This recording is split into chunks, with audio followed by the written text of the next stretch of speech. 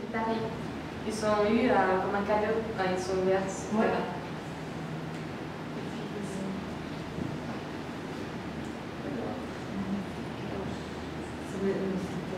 Die gaat wat. Jos on penkki tai puoliviisi, voi tuoda olla istua ja siinä voi laittaa ne kengät jalkaan. Kannst du schreiben, Zarin Meier.